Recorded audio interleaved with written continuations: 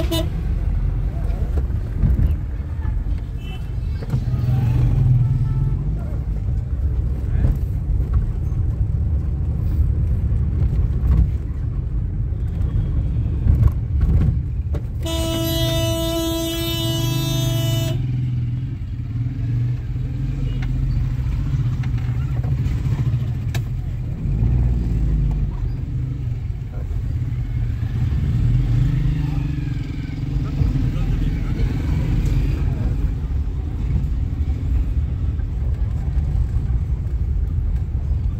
daarna bedrukken?